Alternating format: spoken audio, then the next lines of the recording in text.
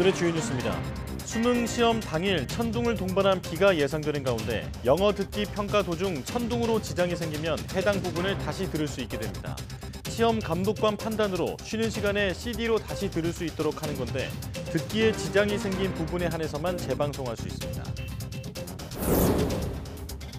서울 도심의 일반 오피스 빌딩 옥상에 스마트 온실이 처음 등장했습니다. 일단은 건물의 열 손실을 줄여주는 역할을 하는 것인데 내년엔 건물에서 발생하는 이산화탄소를 온실로 보내고 온실에서 발생하는 산소를 건물로 제공하는 기술도 실증할 예정입니다. 국회 과학기술정보 방송통신위원회 예산소위원회에서 대폭 삭감됐던 과기정통부 R&D 예산 가운데 8천억 원이 되살아났습니다. 더불어민주당이 단독 의결한 것으로 첨단 바이오 글로벌 역량 강화 항목 등을 1조 1,600억 원 감액하고 연구원 운영비와 학생 인건비 등 2조 원을 증액했습니다. 수소를 연료로 달리는 수소전기 노면전차 트램이 세계 최초로 울산에서 시험 주행을 시작했습니다. 무공해 동력으로 200명까지 태울 수 있는 열차인데 연말까지 시험 주행에 성공하면 울산과 대전의 시작으로 상용화할 전망입니다. 미국 뉴욕에서 전기 에어택시가 첫 시험 운행에 나섰습니다. 최대 시속 320km로 맨해튼에서 JFK 공항까지 7분 만에 갈 수 있는데 전기로 움직여 소형 헬기보다 소음도 100분의 1로 줄였습니다.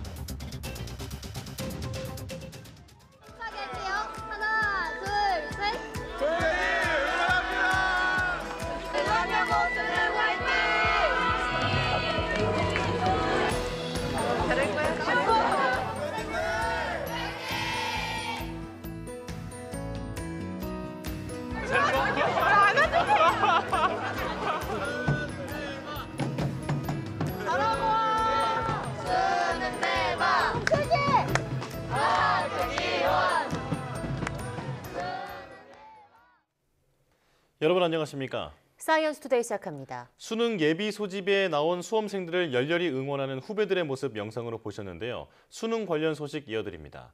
대학 수학능력시험 당일 천둥을 동반한 비가 예상되는 가운데 교육부와 각 지자체가 시험에 지장이 없도록 협조할 방침입니다.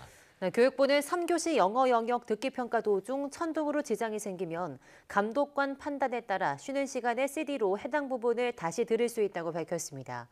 다만 듣기 평가 중 지장이 생긴 부분에 한해서만 재방송할 수 있습니다. 또 수능 당일 시험장 주변을 지나는 화재 구급 출동 차량의 사이렌과 경적을 자제하도록 소방당국도 협조할 방침입니다. 올해 수능에서는 사상 처음으로 교도소 안에 소년 수용자들을 위한 별도 시험장이 운영됩니다. 소년수들은 지난 3월 문을 연 교도소 내 만델라 소년학교에서 수능 공부를 하며 출소 후 달라진 내일을 꿈꾸고 있습니다. 신지원 기자입니다. 칠판에 적힌 수학 공식을 꼼꼼히 공책에 정리하는 수험생들. 창살 너머로 언뜻 익숙한 풍경이지만 수의를 입은 소년들이 공부하는 이곳은 만델라 소년학교입니다. 17세 이하 수용자들을 교육하기 위해 지난 3월 서울 남부교도소 안에 문을 열었습니다. 과연 잘 따라와 줄까라는 걱정이 들기도 했었는데 처음에 약간 그런 걱정을 할 필요가 왜 내가 이 걱정을 했- 해야 됐지라는 정도로 애들도 되게 공부를 하려는 의지가 되게 많이 있는 것 같아서 소년수 37명이 검정고시와 대학 진학을 위해 공부하고 있는데 올해는 고졸 검정고시에 통과한 10명이 처음으로 수능 시험을 치릅니다. 수능 당일에는 교도소 안에 마련된 별도 시험장에서 감독관 지도를 받게 됩니다. 처음에는 서로 다른 환경에서 온 수용자들이 함께 공부하기가 쉽지 않았지만 교실에는 배움에 대한 열기가 넘칩니다. 너네가 공부할 수 있는 시간이 지금밖에 없다. 이 이후에는 너네가 나가서 다른 일을 하게 되면 다시 이 공부를 할 수는 없다. 내 인생의 마지막 공부다라는 생각으로 열심히 한번 해봐라 라고 했을 때 친구들이 따라왔고 올해 첫 수능을 치르는 수용자 가운데 일부는 내년에 출소를 앞두고 있습니다. 짧게는 2년, 길게는 15년까지 복역하는 이들의 죄명은 결코 가볍지 않습니다. 그러나 배움의 과정에서 과거를 반성하고 달라진 내일을 준비하고 있습니다. 요리사나 수의사, 인테리어 디자이너를 꿈꾸고 물리학과나 기계공학과 진학을 희망하는 수험생도 있습니다. 기술 위주의 직업 교육이 아닌 국영수 중심의 수험 공부를 하면서 다양한 목표를 가질 수 있게 됐습니다. 사회에 나갔을 때 범죄의 길이 아닌 다른 길로 갈 수 있는 하나의 발판이 되었으면 좋겠다고 생각합니다. 인생의 가장 큰 영광은 넘어지지 않는 것이 아니라 넘어질 때마다 일어서는 데 있다. 이 학교 교훈이 된 넬슨 만델라의 명언처럼 소년수들은 정당한 방법으로 사회에 적응하도록 하루하루 노력하고 있습니다. YTN 신지원입니다. 이스라엘과 팔레스타인 무장 정파 하마스의 전쟁이 39일째 접어든 가운데 가자 지구에 겨울비가 내려 감염병 우려가 커지고 있다고 WHO가 전했습니다. 마거리 테리스 세계보건기구 대변인은 현지 시간 14일 가자 지구의 수인성 전염병과 박테리아 감염, 유아 설사가 늘고 있다며 비가 고통을 가중시킬 것이라고 말했습니다. WHO는 지난달 중순 이후 가자 지구에서 3만 3,500건 넘는 설사 사례가 보고됐고 대부분 5세 미만 어린이에게서 나타났다고 밝혔습니다. 유엔 팔레스타인 난민 구호 기구는 15일까지 가자 지구 내 연료가 고갈돼 인도주의적 활동도 중단될 것이라고 경고했습니다. 미중 양국이 현지 시간 15일 미국 샌프란시스코에서 열리는 정상회담을 앞두고 기후위기 공동대응 강화를 약속하는 성명을 발표했습니다. 중국 생태환경부와 미국 국무부는 존 케리 미국 대통령 기후문제 특사와 셰전화 중국 기후변화 특사가 지난 7월 베이징 회담과 이달 4일부터 7일 캘리포니아주 서니랜드 회담 결과를 정리한 기후위기 대응 협력 강화에 관한 서니랜드 성명을 공개했습니다. 이와 함께 두 나라는 기후 특사가 공동 주재하고 양국 관계 부처가 참여하는 2020년대 기후 행동 강화 워킹 그룹도 가동하기로 했습니다. 양국은 또 에너지 정책 전략 대화를 재개하고 합의 의제에 관한 교류 진행과 트랙 2 활동 등 실무적 협력도 강화하기로 했습니다.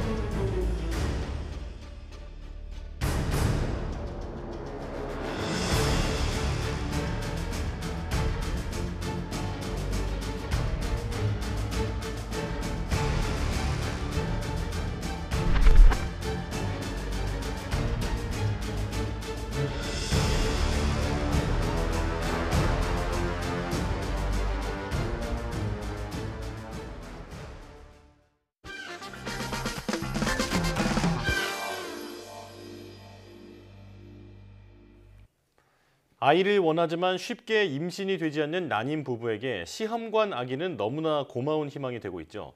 하지만 이 시험관 아기의 기술도 처음부터 그냥 있었던 건 아닙니다. 네, 불과 몇십 년 전만 해도 상상할 수 없었던 혁신적 기술이었는데요. 생명 탄생의 패러다임을 바꾼 이 기술을 위해서 헌신한 사람이 있습니다. 우리나라 생명공학의 거대한 초석을 놓은 정길생 박사를 오늘 과톡에서 한번 조명해 보겠습니다. 지금과 다르게 한 톨의 쌀이 귀했던 시절 무엇보다 중요했던 것은 배고픔을 해결하는 일이었기에 해방 직후 한국의 생명공학은 육종 연구를 비롯한 먹거리 품종 개량에 치우쳐 있었다. 하지만 현재의 생명공학은 인류의 위기를 해결해줄 가장 중요한 학문이며 무한한 잠재력을 가지고 있는데 일찍이 동물 생명공학의 중요성을 간파하고 초기 연구에 매진해 가축 생산부터 시험관 아기까지 수많은 성과와 인재를 키워낸 인물. 동물 생명공학의 창시자이자 개척자인 정길생 박사의 이야기를 만나본다. 1949년 경상남도 산청 지리산 어귀 산골 마을에서 칠남매 중 여섯째로 태어난 그는 마을의 소문난 신동이었는데 아이고 아주머니 안녕하십니까? 아이 길생이 학교 다녀오나? 야 아, 아유 너 이번에도 그 전교 1등 했다면서 아이 열심히 해야죠. 왜냐면 저 공부 시킨다고 형이랑 누나랑 학교 다 관두고 일만 하고 있는데 얘. 아이고 그리요 그리요 응 이제 어디 가는데? 아 이제 농산일 도우러 갑니다. 아이고 그때다 아유. 학교가 끝난 후에는 형제들과 함께 농사일에 매달렸던 그 힘들다 힘들어. 자연스럽게 농축산보다는 새로운 분야에 관심을 가졌다.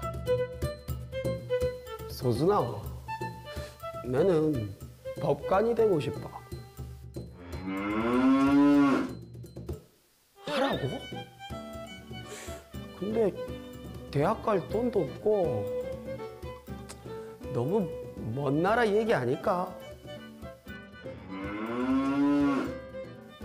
다 방법이 있을 기라고? 고마워 소순아. 그러던 어느 날 어? 이게 뭐야? 장학생 모집 공고? 성적이 우수한 학생에게 숙식은 물론이고 졸업 후 유학까지 보내준다고?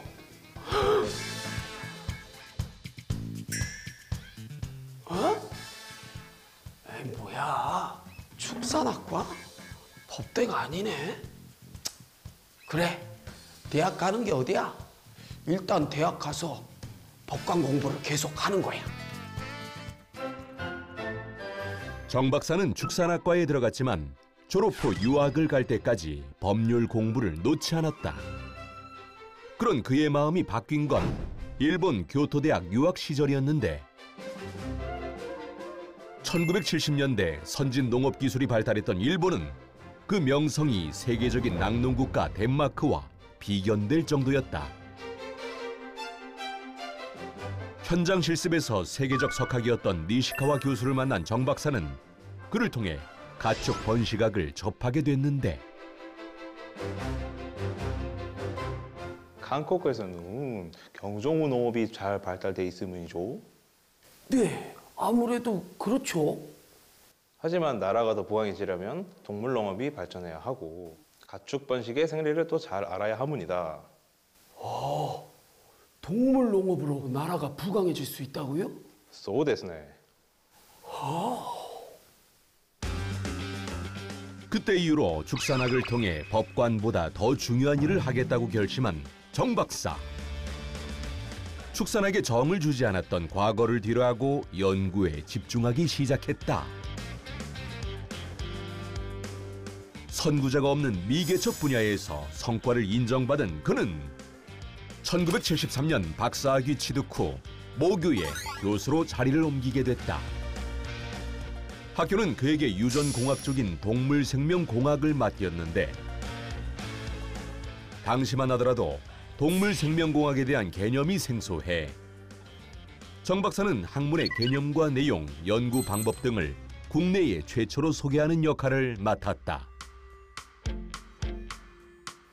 동물 생명 공학이란 동물의 생산성 향상을 위해 동물의 유전자와 기능 등을 분석하는 학문입니다.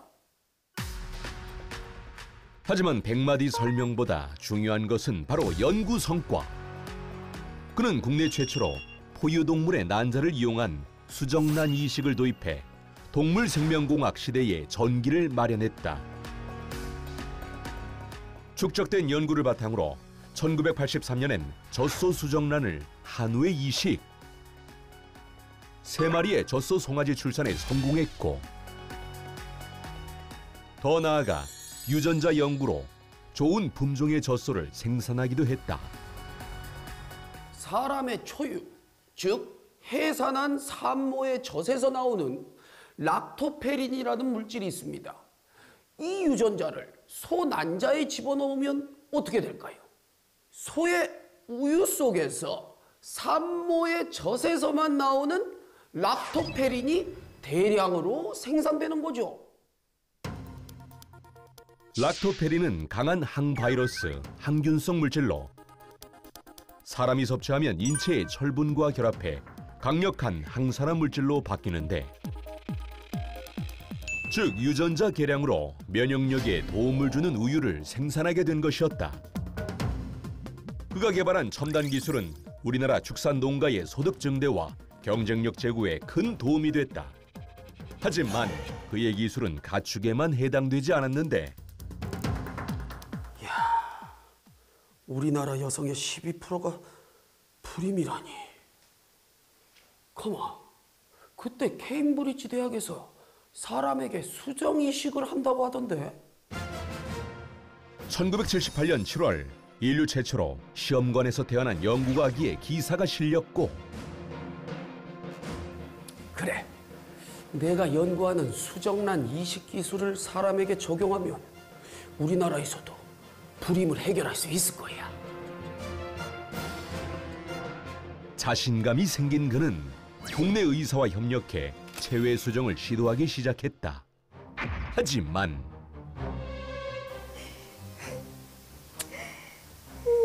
아유, 세, 세 번째 시도인데 또 실패라니. 너무 상심하지 마십시오. 그 시험관 안에서 수정이 됐다 하더라도 임신이 될 확률은 20% 남짓입니다. 애초에 확률이 그렇게 높지 않아요. 그래도 제 책임이 너무 큰 것 같아요. 죄송해요. 아유, 아유, 아유, 아닙니다. 불임 부부에겐 마지막 희망이었던 만큼 환자들의 기대는 너무 컸고 그런 환자들의 모습을 보는 것은 그에게도 고통이었다. 이후부터 그는 의사들에게 기술을 전수해주는 역할만 하기 시작했는데 수정 기술을 몰랐던 의사들에게 이론과 기술을 가르치고 불임센터가 개설되면 연구팀을 파견해 지원을 했다.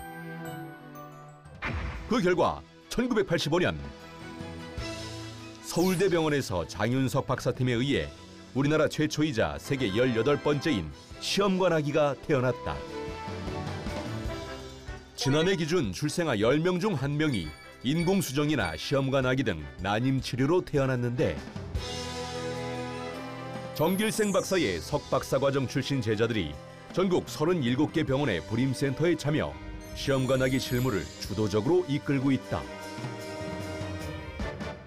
오늘날 심각한 인구 절벽을 겪고 있는 우리나라에서 그의 기술이 큰 해결책으로 기여하고 있는 것이다. 정 박사는 이 공로로 2018년 대한민국 과학기술 유공자로 선정되기도 했는데 어, 앞으로 이제 뭐 저뿐 아니고 유공자들이 해야 될 일은 무엇보다도 그 우리나라 과학기술의 미래를 이끌고 나갈 젊은 과학도들에게 그들에게 히- 미래에 대한 희망을 심어주고 비전을 심어주고 그 용기를 심어주는 그런 역할이 우리가 해야 되고요. 난임 부부에 새 희망을 주고 축산 농가에 큰 보탬이 되어 대한민국의 위대한 생명을 탄생시킨 정길생 박사. 그의 공로는 대한민국의 자부심으로 영원히 기억될 것이다. 과학계 핫 이슈. 지난 11월 3일과 4일 경기도 고양시에서 소프트웨어 교육 인재 페스티벌이 열렸습니다. 소프트웨어 교육 인재 페스티벌은 소프트웨어와 AI 교육에 대한 이해와 관심을 공유하고 관련 교육을 활성화하기 위해 매년 열리고 있는데요. 전시, 체험, 강연, 공연 등 다양한 컨텐츠를 통해 대중이 소프트웨어와 AI 교육을 쉽고 재미있게 체험할 특별한 기회를 제공했습니다. 우리 행사 슬로건이 소프트웨어로 연결되는 우리, AI로 만나는 미래입니다. 이처럼 media art wall이나 pop-up zone 같은 문화기술 접목한 특별한 체험 공간을 꾸며서 우리의 삶이 어, 디지털 기술과 직접적으로 연관돼 있고 그 중요성을 있다는 걸 알고 소프트웨어로 연결되는 우리의 미래를 빛으로 형상화한 미디어 아트부터 360도 카메라 체험 그리고 춤추는 사족 보행 로봇 나만의 반려 로봇을 만들어 보는 체험까지 신기한 체험도 많았습니다. 코로나19로 인해 원격 교육 인프라가 확충되면서 올해는 특히 에듀테크 기업의 참여가 크게 늘었는데요. 네, 정부는 100만 디지털 인재를 양성하기 위한 디지털 인재 종합 방안을 여러 부처가 힘을 합쳐서 만들었습니다. 그래서 우리 인재들이 어, 커서 첨단 디지털 산업 현장에서 일상생활까지 모든 걸 맞는 걸 할 수 있는 필요한 역량을 갖출 인간 인재가 될 수 있도록 다양한 정책들을 내실 있게 추진해 나갈 예정입니다.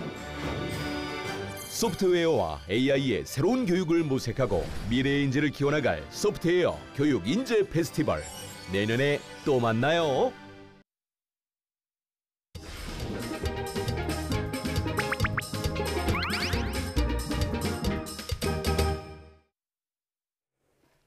동물의 다양한 생태와 습성을 알아보고 그 속에 담긴 과학을 찾아보는 시간입니다. 네, 사이언스 ZOO 오늘도 이동은 기자와 함께합니다. 어서 오세요. 안녕하세요. 네, 오늘은 어떤 동물을 만나볼까요? 네, 오늘은 이 이맘때쯤이면 우리나라를 찾아오는 겨울 철새에 대해서 알아보겠습니다. 아마 이 최근 들어서 철새 도래지로 새들이 돌아오고 있다 이런 소식들을 좀 들어보셨을 텐데요. 네.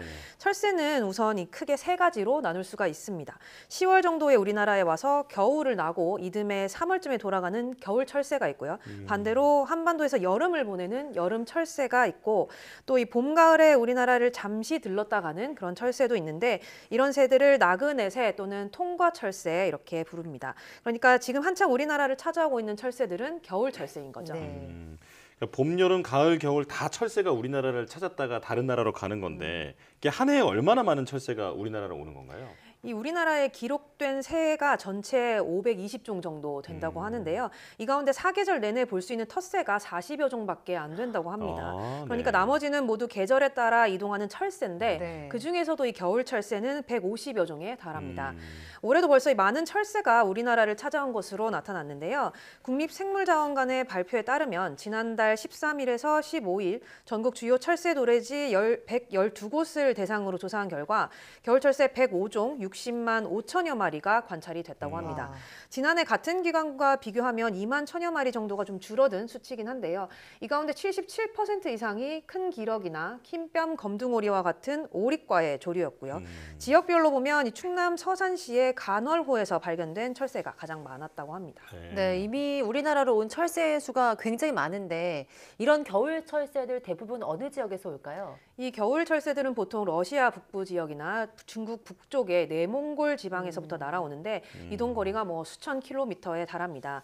이런 겨울 철 새들은 북쪽 지역이 따뜻한 계절일 때는 넓은 초지나 습지에서 새끼를 낳아도 먹이 경쟁이 딱히 없기 때문에 비교적 안전하게 살 수가 있는데요. 새끼가 좀 자라나게 되고 또이 혹한기가 올 때쯤이면 좀 더 따뜻한 우리나라 쪽으로 내려와서 3월부터 이제 고향으로 다시 돌아가기 시작하는 겁니다. 네. 근데 그렇다면 철새가 이동 거리가 수천 킬로미터는 되는 거잖아요. 이게 매년 어떻게 길을 잃지도 않고 우리나라로 잘 찾아왔다가 다시 고향으로 돌아가는지 궁금 한데 어떤 원리인가요? 네, 이 철새는 지구 자기장을 이용해서 방향을 찾는데요. 몸속에 유전적으로 생체 나침반이 있기 때문입니다. 네. 사실 아주 오래전부터 이런 철새의 능력에 대한 추측은 있어 왔는데 과학적으로 정확한 원리가 밝혀진 것은 그렇게 오래되지 않았습니다.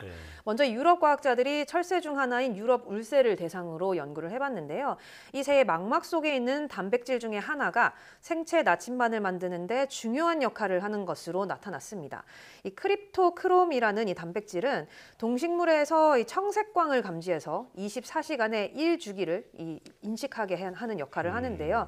유럽 울새의 망막에 있는 이 cryptochrome이 자기 신호에 특히 민감한 것이 확인이 됐다고 합니다. 그러니까 이 단백질이 일종의 센서 역할을 해서 철새가 지구 자기장을 잘 감시, 감지할 수 있도록 그렇게 해주는 거죠.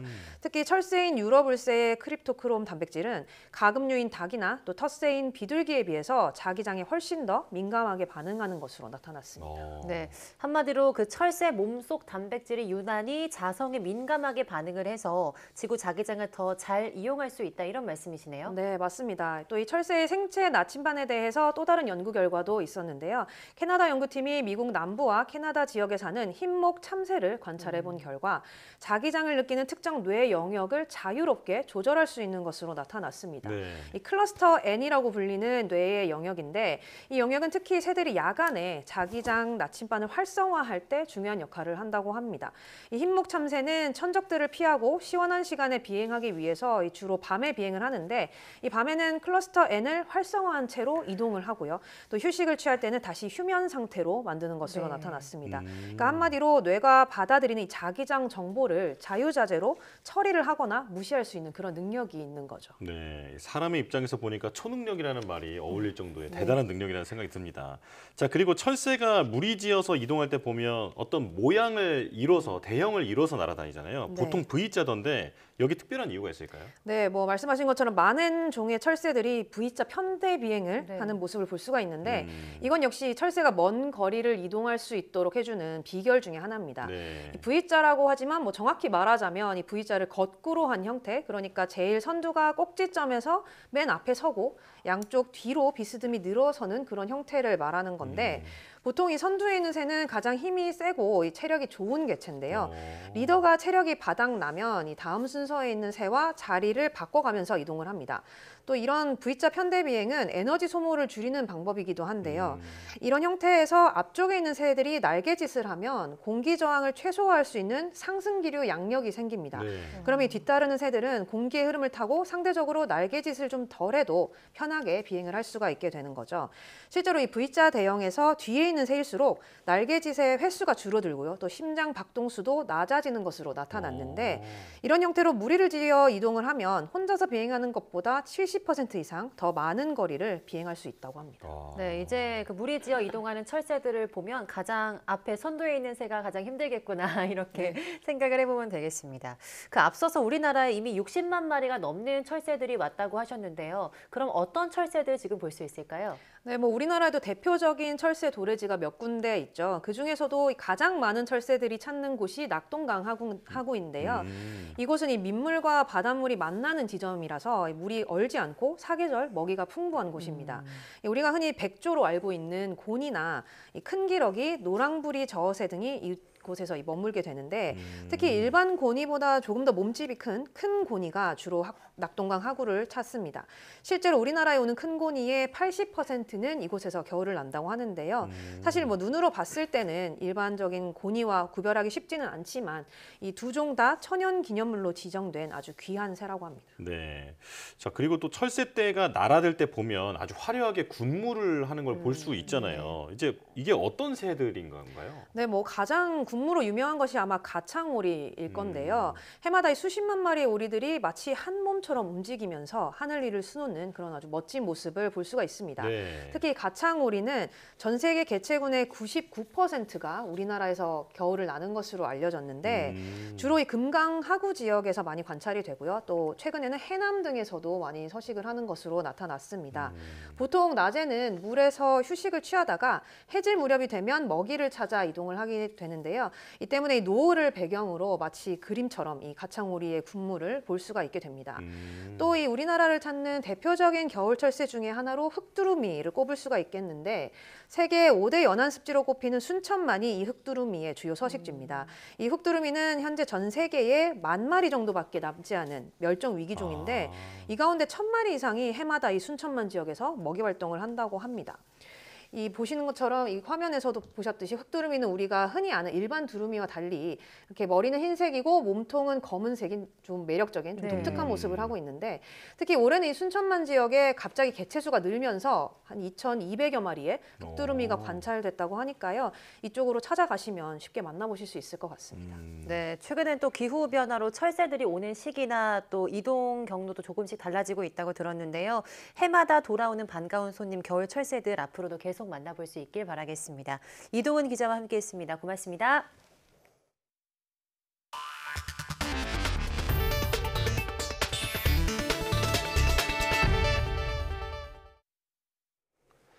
더불어민주당이 국회 과학기술정보방송통신위원회 예산소위원회에서 과학기술정보통신부와 방송통신위원회, 원자력안전위원회 예산안을 단독으로 의결했습니다. 민주당은 정부가 편성한 과기정통부 예산에서 첨단바이오 글로벌 역량 강화 항목 등을 1조 1,600억 원 감액하고 대신 과학기술계 연구원 운영비 지원과 4대 과기원 학생 인건비 등에서 2조 원을 증액해 8천억 원을 순증했습니다. 민주당 의원들은 예산안 의결 직후 기자회견을 열고 민주당이 윤석열 표 R&D 예산 삭감을 되돌렸다면서 국회 예결특위 소위에서 논의된 내용을 전달해 내년도 예산안에 최대한 반영되도록 노력하겠다고 밝혔습니다. 농업의 ICT 기술을 접목한 스마트 온실은 1년 내내 안정적으로 작물을 키울 수 있어서 농가에 빠르게 확산하고 있습니다. 네, 여기서 더 나아가 건물 옥상에 온실을 설치해 건물 자체 에너지 사용량을 줄이는 기술이 등장했습니다. 최소라 기자입니다. 서울 성수동의 8층짜리 오피스 빌딩입니다. 엘리베이터를 타고 옥상으로 올라가자 150제곱미터 규모의 유리 온실이 펼쳐집니다. 100여 개 배지에서 수경 재배를 통해 파프리카와 가지 등이 자라고 있습니다. 온도와 습도, 공기 조성을 정밀하게 제어하고 식물 생장을 돕는 빛도 나오는 스마트 온실입니다. 이렇게 옥상에 온실을 설치하는 것만으로도 건물 전체에 열을 가둬두는 효과가 있어서 추운 겨울에 난방비를 줄일 수 있습니다. 더운 여름엔 화초를 보호하기 위해 차광막을 설치하는데 건물의 열 전달을 차단하는 효과가 커 자연스레 냉방비도 줄이게 됩니다. 도시에서 키움으로 인해서 이산화탄소가 좀 더잘 어, 광합성을 향상을 시키기 때문에 작물이 더 잘 자라는 효과가 나오게 되고요. 기계연구원 등 출연연 4곳과 대학, 기업 등이 공동으로 개발한 옥상 온실 기술은 이번 첫 실증을 통해 효용을 검증할 예정입니다. 내년에는 건물에 태양광 전지 등을 설치하고 건물의 에너지 자립률을 높일 계획입니다. 다음 실증에선 건물에서 발생하는 이산화탄소를 온실로 보내고 온실에서 발생하는 산소를 건물로 제공하는 기술도 추가됩니다.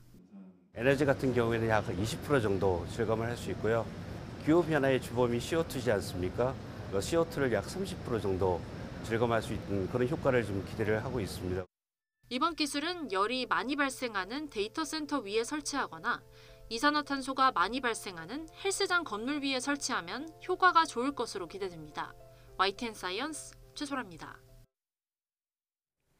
세계 최초로 수소 전기로 달리는 노면 전차 트램이 상용화를 앞두고 시험 주행을 시작했습니다. 연말까지 시험 주행을 성공적으로 마치면 울산과 대전 시민들의 친환경 대중교통 수단이 됩니다. 보도에 오태인 기자입니다. 하나, 둘, 셋, 출발! 출발 신호에 맞춰 트램이 움직입니다. 차량에 탑재된 탱크에 충전된 수소와 공기 중 산소가 만나면서 만들어진 전기로 동력을 얻는 수소 트램입니다. 세계 최초로 국내에서 개발돼 상용화를 앞두고 실증 주행에 나섰습니다. 수소를 충전해 쓰는 만큼 기존 전차와 달리 송전선도 필요 없고 오염물질도 전혀 배출하지 않습니다. 오염물질은 전혀 배출하지 않고 완전 친환경 수소 트램이고 또 주행하면서 공기정화까지 할 수 있으니까 거의 움직이는 공기청정기라고 할 수가 있겠습니다. 도시철도로 활용될 예정으로 편의시설도 다양하게 갖췄습니다. 바닥 높이가 35cm로 버스보다 낮아 교통약자도 쉽게 이용할 수 있고 차체 절반 이상을 유리로 마감해 개방감을 높였습니다. 다섯 개 칸이 한 편성으로 버스 세대를 이어놓은 크기인데 200명까지 태울 수 있습니다. 한 번 충전에 200km까지 주행할 수 있어 도시 철도로 활용하기에 충분합니다. 연말까지 시험 주행을 진행하면서 단점을 보완해 2029년 개통하는 울산 도시철도에 투입됩니다. 울산에 트램이 도입되면 버스 노선을 개편할 것이고요. 빠르고 편리한 환승 체계를 완성할 것입니다. 세계 최초로 수소 트램인 만큼 울산을 대표하는 관광 상품 역할도 할 것으로 기대합니다. 대전도 도시철도 2호선에 도입을 결정하는 등 친환경 대중교통의 대안으로 떠오른 수소 트램. 국내를 넘어 해외 도시에서도 친환경 교통수단으로 바람을 일으킬 수 있을지 주목됩니다. YTN 오태인입니다. 뉴욕에서 전기 에어 택시가 첫 시험 운행에 나섰습니다. 시속 320km의 소음도 두드러지게 준 친환경 에어 택시는 2025년부터는 본격 상업 서비스에 들어갈 계획입니다. 보도에 이종수 기자입니다.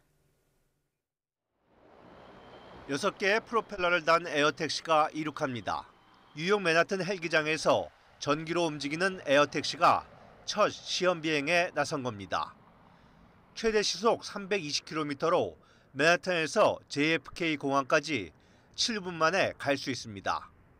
Uh, seats a pilot and four passengers and flies at speeds of up to 200 miles an hour. And what that means is that a flight from uh, here in Manhattan to JFK uh, can take as little as seven minutes. 에어 택시는 수직으로 이착륙하는데 소형 헬기보다 비행 소음이 100배나 적습니다. These aircraft are game changers because uh, they're dramatically quieter, uh, which means that we can put takeoff and landing locations in more places around cities like New York. 에어택시 제조사는 2025년부터 본격적인 상업 서비스를 개시할 계획입니다. 뉴욕시는 친환경 에어택시를 위한 아낌없는 지원을 약속했습니다. We are going to establish the world's first heliport uh, with infrastructure for electric uh, powered uh, uh, helicopters. 내년 파리 하계 올림픽 기간에도 에어택시가 요금 110유로 약 16만 원으로 시범 운영할 예정이어서 앞으로 몇 년 안에 에어택시 시장이 급성장할 전망입니다. YTN 이종수입니다. 프랑스의 비영리 IT 교육기관 에꼴 42가 서울에 이어 국내에서 두 번째로 경북 경산에 문을 열었습니다. 수도권에 쏠린 IT 생태계를 비수도권으로 분산하는 효과를 낼 수 있을지 관심입니다. 김근우 기자가 보도합니다. 컴퓨터 수백 대가 강의실을 가득 메웠습니다. 프랑스의 세계적인 IT 교육기관 에꼴 42가 경북 경산에 선보인 새 캠퍼스입니다. 서울에 이어 국내에선 두 번째, 비수도권에서는 처음입니다. 이달 말부터 일기 예비교육생 250여 명이 이곳에서 코딩 프로젝트를 진행합니다. 비슷한 걸 해봤지만 좀 더 제 자신을 키우기 위해서 일단 지원을 하게 되었고요. backend frontend 쪽 개발 직종에 어, 전문 전문가 쪽으로 캠퍼스에는 교수와 교재, 학비 없이 자유롭게 협업하며 결과를 만드는 에꼴 42 특유의 프로그램을 고스란히 들여왔습니다. 2년 과정으로 매년 200명씩 소프트웨어 인재를 배출하는 게 목표입니다. 사실 코딩을 잘하는 그런 그 소프트웨어 디벨로퍼라기보다는 그 소통을 통해서 자기의 어떤 창의력을 기르고 또 비판적 사고 능력을 길러서 어, 궁극적으로는 그런 융합 인재를 육성하는 게 저희들의 목표입니다. 경산시는 에꼴 42 경산을 비수도권 IT 생태계의 핵심 허브로 키운다는 방침입니다. 특히 경산에는 대학교가 12곳이나 있는 만큼 다양한 분야에서 시너지 효과를 기대하고 있습니다. 이 비수도권인 만큼 수도권 수도권 특히 이제 도쿄나 파리나 런던에 비교돼서 처지지 않는 인재를 양성해서 정말 세계 굴지의 소프트웨어 인재들을 양성을 시키겠습니다. 지역 소프트웨어 인재 양성을 목표로 출범한 에꼴 42 경산. 소외됐던 비수도권 IT 생태계에 선순환 구조를 가져올 수 있을지 주목됩니다. YTN 김근우입니다. 인공지능 학습 자료로 활용되는 저작물이 정당한 대가를 받을 수 있도록 연내 가이드라인이 만들어집니다. 정부는 서울청사에서 열린 비상경제 장관회의에서 이런 내용이 담긴 데이터 경제 활성화 추진 과제를 발표했습니다. 이에 따라 인공지능 학습 데이터로 활용되는 저작물에 대한 정당한 대가를 지급하기 위해 AI 저작권 가이드라인이 올해 안에 마련됩니다.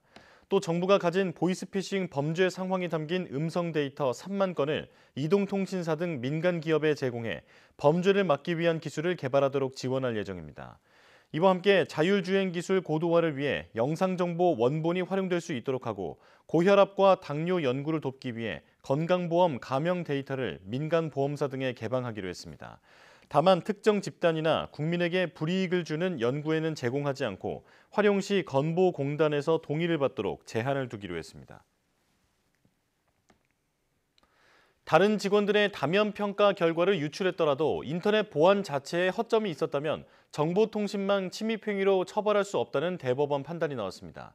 대법원은 정보통신망법 위반 혐의로 기소된 A씨에게 징역 8개월에 집행유예 2년을 선고한 원심을 깨고 사건을 수원지방법원에 돌려보냈습니다. 재판부는 피고인이 열람한 다면평가 사이트가 아무런 보호 조치 없이 홈페이지 주소 끝자리 숫자만 바꿔 넣으면 볼 수 있었던 만큼 정보통신망에 침입한 건 아니라고 판단했습니다. A씨는 지난 2020년 1월 사내 다면평가 인터넷 사이트에서 다른 직원들의 평가 결과를 유출한 혐의로 기소됐는데 1, 2심은 A씨가 정당한 권한 없이 정보통신망에 침입했다고 보고 징역 8개월에 집행유예 2년을 선고했습니다.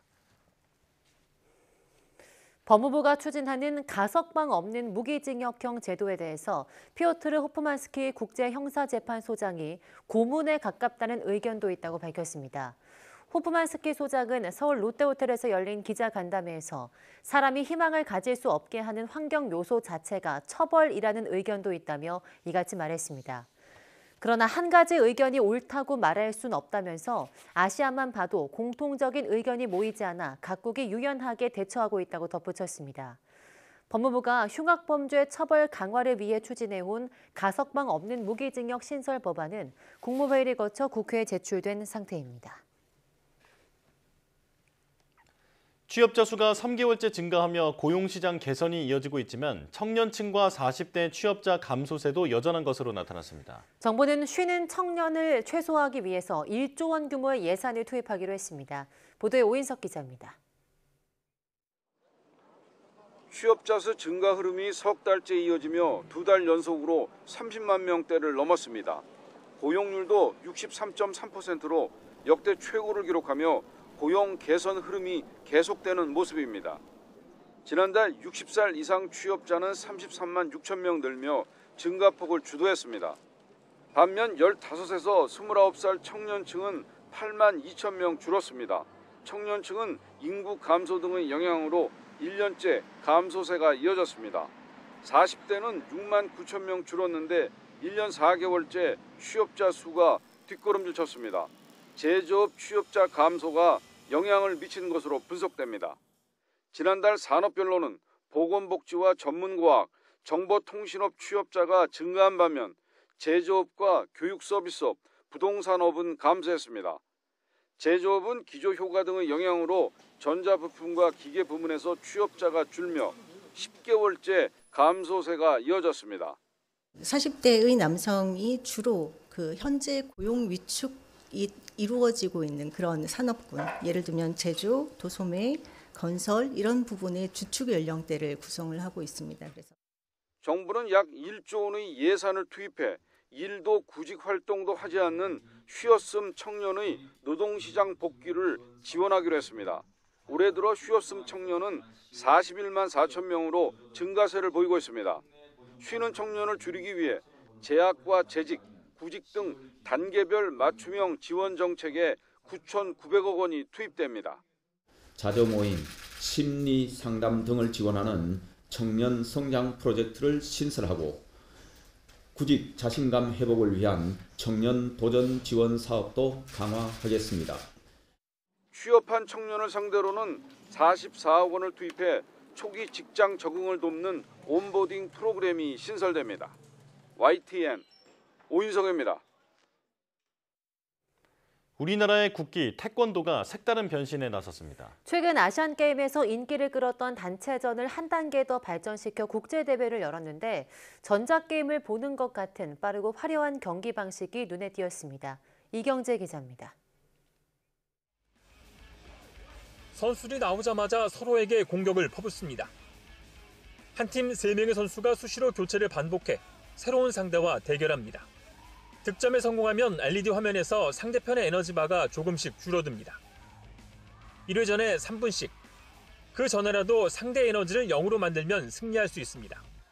대한태권도협회가 2019년 시작한 파워 태권도에 흥미 요소를 더해 올해 첫 국제대회를 열었습니다. 어, 많은 사람들이 쉽게 그리고 특히 젊은 어, 세대들이 이 게임과 같은 어, 느낌으로 태권도 경기를 즐길 수 있도록 어, 만든 시도입니다. 더 적극적인 공격을 이끌기 위해 새로운 득점 방식도 시도했습니다. 발바닥으로 쉽게 점수를 얻어 발펜싱이라는 비난에 발등 공격엔 두 배로 2점을 주고 반칙 등으로 5초 동안 passive를 받은 상대를 공격하면 두 배로 점수가 올라갑니다. 앞발 밀기보다는 조금 이제 큰 동작이나 좀 뒤차기, 뭐 돌려, 돌개차기, 턴, 얼굴발 약간 화려한 기술을 조금 저도 많이 주문을 했고요. 1회 대회에는 우리나라를 비롯해 태권도 강국인 이란과 멕시코, 모로코 등 9개 나라가 출전했습니다.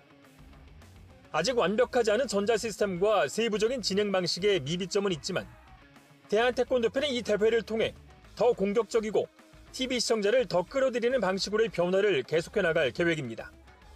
YTN 이경재입니다.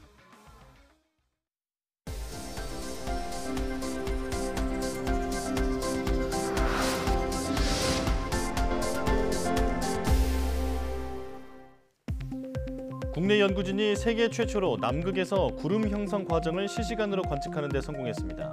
극지연구소 윤영준, 박지연 박사팀은 아일랜드 골웨이대 연구팀과 공동으로 2018년 남극 세종과학기지에서 1년 동안 극초미세먼지와 구름 응결핵의 크기, 농도를 실시간으로 관측하고 극초미세먼지가 구름 응결핵으로 성장하는 과정을 확인했다고 밝혔습니다.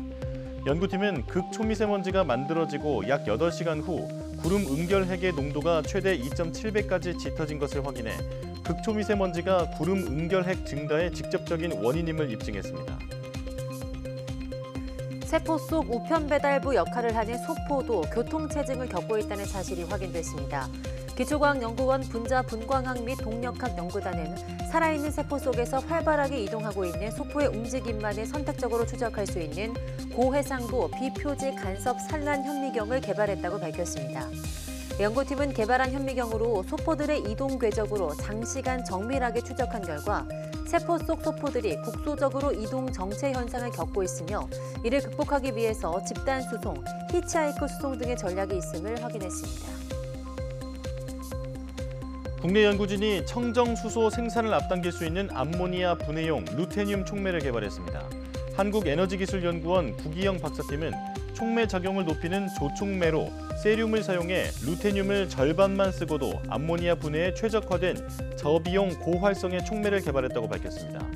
연구팀이 개발한 촉매는 섭씨 450도에서 세계 최고 수준의 높은 수소 생성률을 보였으며 세륨을 첨가하지 않은 기존 촉매보다도 8배 높은 수소 생산률을 나타냈습니다.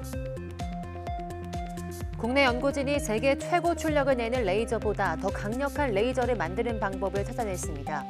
유니스트 허민섭 교수팀은 지스트 영국 스트라스클라이드대와 공동 연구를 통해 기존보다 1000배 이상 강력한 레이저 펄스를 만들 수 있는 아이디어를 제기하고 이를 컴퓨터 시뮬레이션으로 증명했다고 밝혔습니다. 연구팀은 회절 거울 대신 플라스마를 사용해 레이저 펄스의 압축 문제를 해결하는 방식을 제안했는데 이미 손상된 물질 상태로 알려진 플라스마를 회절 거울 대신 이용하면 엑사와트 이상의 초강력 레이저를 만들 수 있다고 설명했습니다.